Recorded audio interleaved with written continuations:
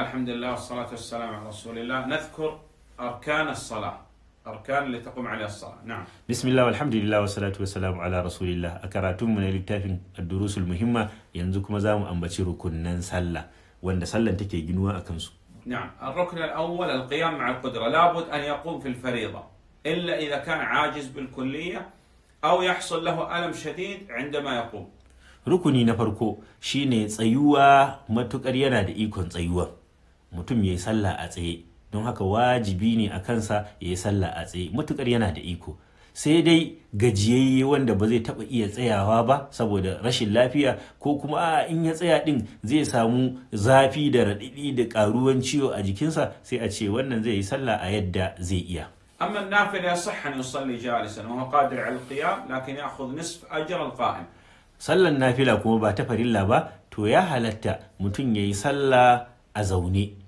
ya halatta ya yi sallah a zaune sai dai ya sani idan ya yi sallah a zaune to ladansa fa shine rabin mutumin da ya yi sallah a tsaye نعم آه، الثاني تكبيرة الإحرام يعني قول الله أكبر rukuni na biyu shine kabbarar harama wato ya faɗi lafazin Allahu akbar نعم وقراءة الفاتحة لابد أن يقرأ الفاتحة كاملة مرتبة بكلماتها وآياتها وحركاتها وحروفها rukuni na uku shine karatun suratul fatiha dole ne mai sallah ya karanta fatiha da harufanta da kalmominta da yadda ake karanta ta tun da farkonta har ta. نعم آه، اقرأها في كل ركعة في, في, في كل ركعة وفي السرية وفي الجهرية نعم kuma zai yi wannan karatun fatihan ne a kowace raka'a sallan da ake ɓoye karatunta da sallan da ake bayyanawa ولا تسقط الفاتحة إلا إذا أدرك الإمام راكعا يكبر تكبيرة الإحرام ويركع وتسقط عنه الفاتحة بقول النبي عليه الصلاة والسلام s- karatun fatiha ba zai sauka a kansa ba sai a hali ɗaya tak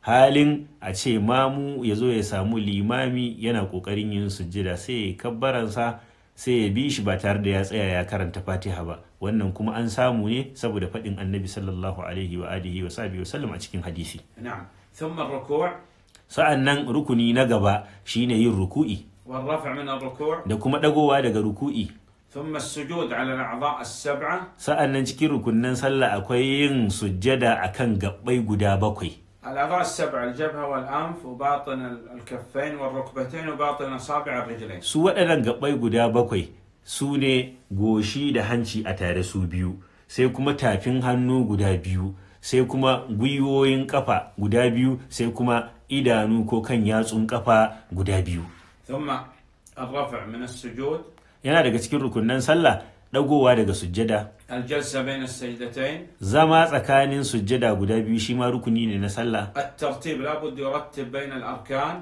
sai kuma jeranta waɗannan ayyuka ɗin dole a jeranta su a fara kamar yadda muka ambato su نعم ولا بد من الطمأنينة لا بد يطمئن يعني لا ينقر الصلاة بسرعة haka kuma cikin rukunan sallah dole sai an samu natsuwa a cikin sallah. Ba zai yi kaman koton kurciya in yayi ruku'i ya dago da sauri in yayi sujjada ya dago. A'a dole ya samu nutsuwa a cikin kowane rukuni na sallah. Yana daga cikin rukunan sallah yin tahiya na ƙarshe. Da kuma yin zama domin yin tahiyar.